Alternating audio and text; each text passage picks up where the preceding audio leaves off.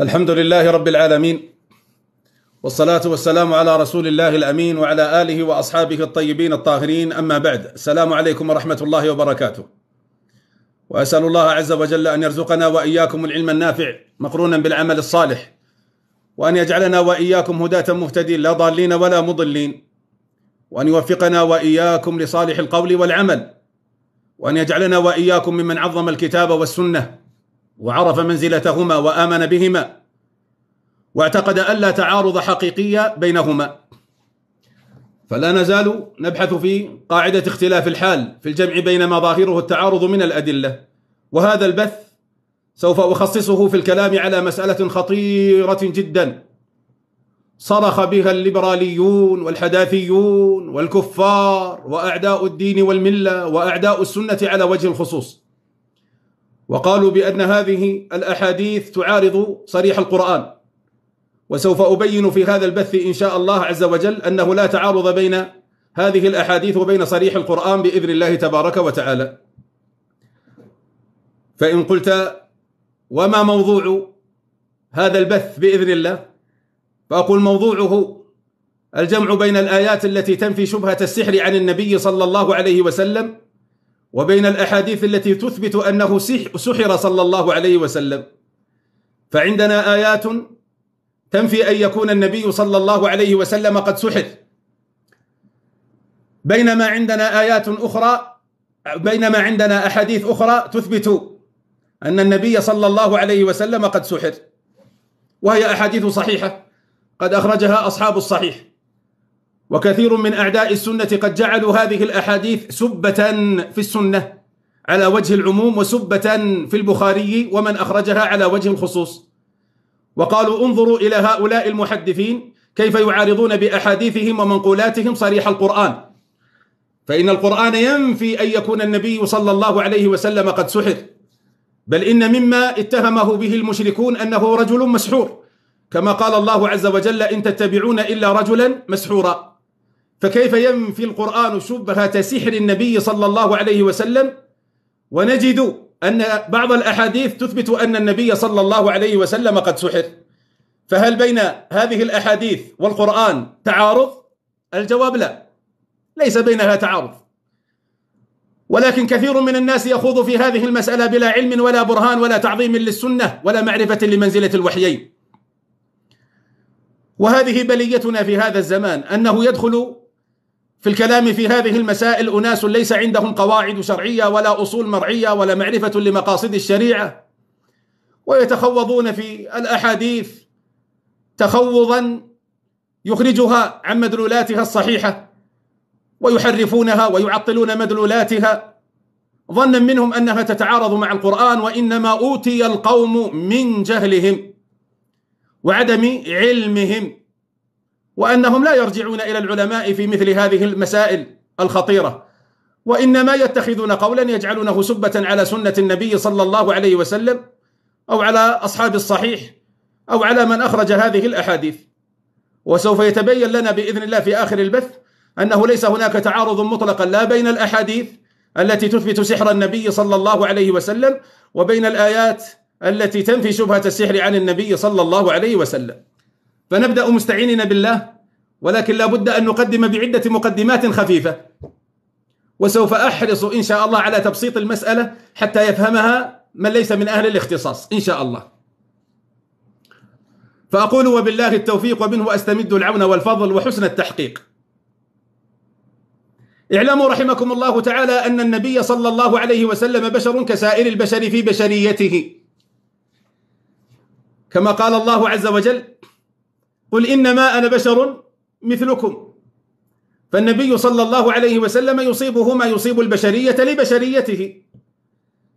فهو بشر مثلنا يجوع كما يجوع البشر ويظمأ كما يظمأ البشر ويمرض كما يمرض البشر ويحتاج كما يحتاج البشر ويبيع ويشتري كما يبيع ويشتري البشر ويصيبه الهم كما يصيب سائر البشر ويحزن قلبه كما يحزن سائر البشر وتدمع عينه كما عيون البشر. أرجو من الإخوان ألا يطلبوا لا داخل المملكة ولا خارجها. يشغلون بال بالقسوت يا إخواني. فاذا هو يصيبه ما يصيب عامة البشر ويصيبه الصداع كما يصيب سائر البشر. كما قال صلى الله عليه وسلم لما مات ابنه إبراهيم رضي الله عنه وأرضاه إن العين لتدمع فعينه تدمع كما تدمع عيون البشر. وإن القلب لا يحزن فإذا قلبه يحزن كما يحزن سائر البشر. ولا نقول إلا ما يرضي ربنا وإنا بفراقك يا إبراهيم لمحزونون. فهو بشر يصيبه ما يصيب البشر. ومن جملة الأشياء التي تصيب البشر الأمراض الحسية والأمراض المعنوية. فكل ذلك يصيبه لأنه بشر. إذا هذه أول نقطة لا بد أن نفهمها وهي أن النبي صلى الله عليه وسلم بشر كسائر البشر. يصيبه ما يصيب البشر لأن الله عز وجل يقول قل إنما أنا بشر مثلكم. المقدمة الثانية التي لا بد أن نفهمها أيضا. اعلموا أن النبي صلى الله عليه وسلم مع أن فيه جانب بشري مع أن فيه جانبا بشريا يعتريه بسببه ما يعتري سائر البشر إلا أنه نبي ورسول. فإذا النبي صلى الله عليه وسلم فيه شائبة البشرية وفيه شائبة النبوة والرسالة. يعني أننا ننظر إليه من جهة فنراه بشرا وننظر إليه من جهة أخرى فنراه نبيا رسولا. كما كما جمع الله عز وجل بينهما في قوله تبارك وتعالى قل إنما أنا بشر مثلكم وهذا هو الجانب البشري. ثم قال يوحى إلي وهذا هو جانب النبوة والرسالة. فاذا النبي صلى الله عليه وسلم ننظر له من جهتين من جهة بشريته ومن جهة نبوته ورسالته. فلا نخلط بين الأمرين. فلا نجعل نبوته ورسالته تلغي أحكام بشريته. لا نجعل نبوته ورسالته تلغي أحكام بشريته ولا نجعل بشريته تلغي أحكام نبوته ورسالته. فلكل جانب من الجوانب أحكامه وخصائصه فلا يتداخلان. فهو بشر من جملة البشر يصيبه ما يصيب البشر وفي نفس الوقت هو نبي ورسول. عليه الصلاة والسلام. كما قال الله عز وجل قل إنما أنا بشر مثلكم ثم قال يوحى إلي. فإذا فيه جانبان جانب البشرية وجانب النبوة والرسالة. فلا تخلطوا بين الأمرين لأن التفريق بينهما هو وجه الجمع بين الحديث الذي يثبت سحره وبين الآيات التي تنفي سحره. أعيدها مرة أخرى. النبي صلى الله عليه وسلم فيه جانبان جانب البشرية الذي يدل عليه قول الله عز وجل قل إنما أنا بشر مثلكم مثلكم فيما يصيب البشرية فأجوع كما تجوعون وأمرض كما تمرضون وأبكي كما تبكون وأحزن كما تحزنون وآكل كما تأكلون وأظمأ كما تظمؤون وأحتاج إلى الثياب كما تحتاجون وأحتاج إلى النوم كما تحتاجون وأحتاج إلى الغائط كما تحتاجون وأحتاج إلى البول كما تحتاجون. لما يا رسول الله؟ إنما أنا بشر مثلكم. هذا هو الجواب. إذا بشر هو بشر. هو بشر من جملة البشر. لكن الجانب الثاني يوحى إلي. إذا فيه جانب آخر وهو جانب النبوة وهو جانب النبوة والرسالة وهو جانب النبوة والرسالة. لعلكم فهمتم هذا. لأن هذا هو عين الجواب. أعيدها مرة ثالثة من باب إبراء الذمة في التوضيح. النبي صلى الله عليه وسلم فيه جانبان. لا بد من التفريق بينهما. كل جانب له أحكامه وخصائصه. لا يتداخلان. الجانب الأول أنه بشر. يصيبه ما يصيب البشر. قل إنما أنا بشر مثلكم. الجانب الثاني أنه نبي ورسول يوحى إليه من الله عز وجل. لا ينطق عن الهوى ابدا. إنما هو وحي يوحى وهو الجانب الذي قال فيه الله عز وجل يوحى إلي. قل إنما أنا بشر هذا الجانب الأول يوحى إلي هذا الجانب الثاني. إذا علم هذا فليعلم وسأعيدها خمس مرات.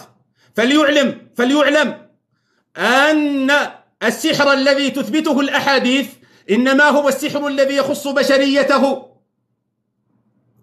إنما هو السحر الذي يخص بشريته. فاليهود سحروا النبي صلى الله عليه وسلم في الجانب البشري. أصابه السحر لأن السحر نوع مرض والبشر يصيبهم الأمراض. فقد سحر في جانبه البشري سحر في جسده حتى كان يخيل إليه أنه يأتي الشيء ولا يأتيه. فالسحر الذي فعله اليهود لبيد بن الأعصم وجماعته بالنبي صلى الله عليه وسلم إنما أصاب جانبه البشري والسحر من السوء وقد أصاب النبي صلى الله عليه وسلم ذلك السوء لأنه بشر. يا رجل اتق الله. هل السوء يصيب النبي صلى الله عليه وسلم؟ الجواب نعم. لقول الله عز وجل ولو كنت أعلم الغيب لاستكثرت من الخير وما مسني السوء يقول الله عز وجل آمرا لنبيه صلى الله عليه وسلم قل لا أملك لنفسي نفعا ولا ضرا ولو كنت أعلم الغيب لاستكثرت من الخير وما مسني السوء. فإذا السحر من السوء وقد مس النبي صلى الله عليه وسلم لكن مسه في أي جانب؟ في أي جانب؟ في أي جانب؟ في جانبه البشري. في جانبه البشري. في جانبه البشري. احذر!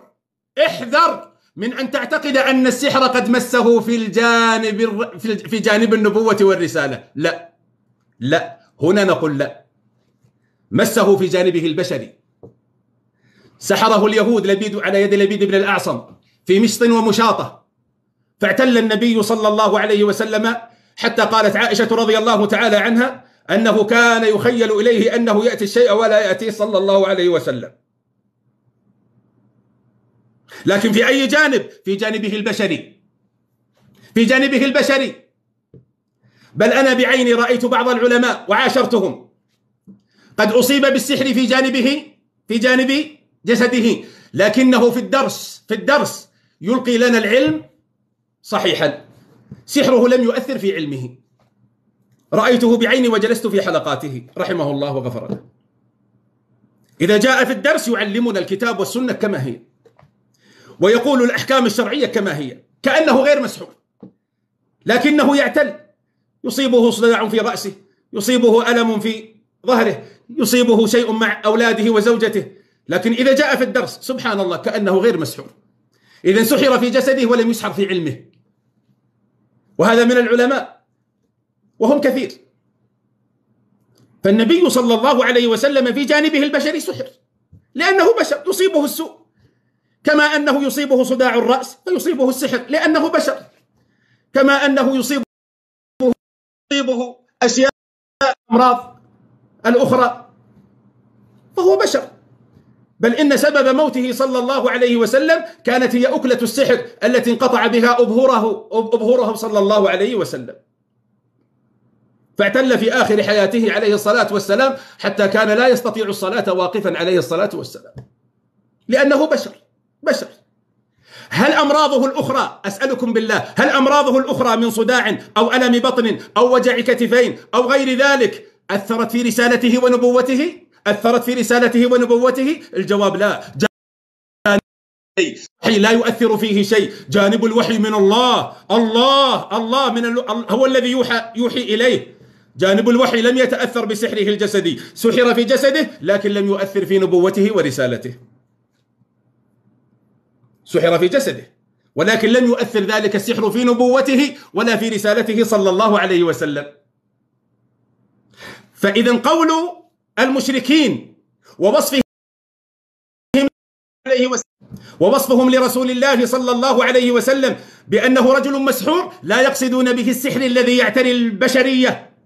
لا يقصدون به السحر الذي يعتري البشرية وإنما يقصدون السحر الذي يعتري النبوة والرسالة. فيقولون إن القرآن الذي يقوله محمد إنما هو سحر. لا القرآن ليس جانبا بشريا بل جانب نبوة ورسالة. اخسأوا أيها المشركون اخسأوا أيها المشركون. السحر لا يصيب رسول الله صلى الله عليه وسلم في جانب نبوته ورسالته بل يصيبه في جانبه البشري الذي هو فيه كسائر البشر يعتريه ما يعتري البشر.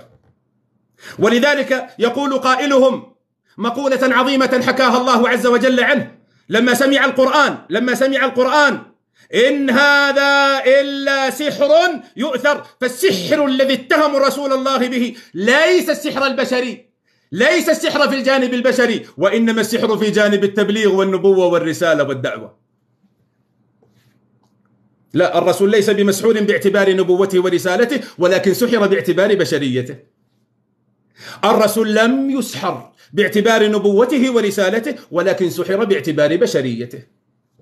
أعيدها مرة ثالثة. الرسول صلى الله عليه وسلم لم يصبه سحر قط في نبوته ورسالته وفي تبليغه للقرآن والسنة ولكن سحر في جانبه البشري. ففرقوا بينهما. فالحديث يثبت السحر البشري يثبت السحر في جانب البشرية والقرآن ينفي السحر عن جانب النبوة والرسالة. والله واضح.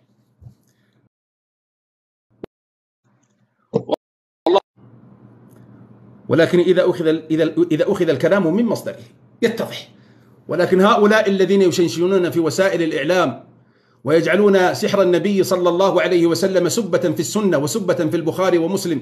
ويقولون انظروا انظروا كيف يثبتون أن النبي صلى الله عليه وسلم سحر. والقرآن ينفي أنه سحر. جمعوا بين أمرين مختلفين. جمعوا بين هذا وهذا. وهذا خطأ بل نجمع بينهما باختلاف الحال فنجعل الأحاديث فنجعل الأحاديث التي تثبت سحره صلى الله عليه وسلم هو السحر في جانبه البشري ونجعل الآيات التي تنفي السحر عن النبي صلى الله عليه وسلم في جانب النبوة والرسالة هل يبقى بعد ذلك إشكال؟ هل يبقى بعد ذلك إشكال؟ أبدا فإن قال لي قائل وهل اتهم الأنبياء قبله بالسحر؟ الجواب نعم قد اتهموا هودا بالسحر واتهموا موسى بالسحر واتهموا واتهموا صالح بالسحر. إنما أنت من المسحرين إنما أنت من المسحرين. قيلت في شعيب وقيلت في هود وقيلت في صالح. هذه تهمة المشركين. كلما جاء كلما جاءهم كلما جاءهم نبي بوحي ورسالة وشريعة من الله يواجهونه بأنها سحر. هذه تهمة المشركين للأنبياء. أن ما يأتون به من الله إنما هو سحر. كذلك المشركون من كفار قريش بالنبي صلى الله عليه وسلم اتهموه بنفس التهمة. إن هذا إلا سحر يؤثر. يعني أن ما تقوله من القرآن ليس قرآنا حقيقة وإنما هو سحر. فجاء القرآن ينفي السحر ينفي السحر في هذا الجانب ينفي السحر في هذا الجانب أي في جانب النبوة والرسالة فقط. وجاءت الأحاديث تثبت السحر في الجانب الآخر وهو جانب البشرية. واضح ولا مو واضح؟ واضح ولا مو واضح؟ واضح ولا مو واضح؟ يا ويل هؤلاء إذا قابلوا رسول الله صلى الله عليه وسلم يوما من الأيام يقدحون في سنته ينكرون صحيح حديثه يتكلمون في العلماء ويتكلمون في المحدثين والنقلة وإنما أتي القوم من جهلهم هم جهال هم ليست عندهم أصول ولا قواعد. ولا مقاصد يفرقون بها بين الحق والباطل ويعرفون بها الراجح من المرجوح والمقبول من المردود. يتخوضون يتخوضون في دين الله عز وجل بلا علم ولا برهان. الكلام واضح ولا ليس بواضح؟ الكلام واضح. أعيده مرة أخرى. أعيده مرة أخرى. لأن هذا من أعظم الشبه التي قدح بها في الصحيحين. وقدح بها في السنة على وجه العموم والإجمال. قالوا لقد نفى القرآن شبهة السحر عن النبي صلى الله عليه وسلم ونجد أحاديث تثبت أنه سحر. إذا الأحاديث تعارض القرآن. نقول لا. لا. الأحاديث ما تعارض القرآن. ولا أزال أقولها بملء فمي. كلمة يشهد الله عز وجل علي بها يوم القيامة. والله ما من نصين صحيحين يتعارضان أبدا. أبدا. بقاعدة اختلاف الحال. وهي القاعدة التي والله أطلت عليكم في شرحها. أطلت عليكم في شرحها لكنها والله قاعدة مفيدة. والله إنها من من من القواعد المفيدة العظيمة. اذا كيف نجمع بين الآيات التي تنفي السحر والحديث الذي يثبت السحر بالتفريق بين الجانبين في النبي صلى الله عليه وسلم.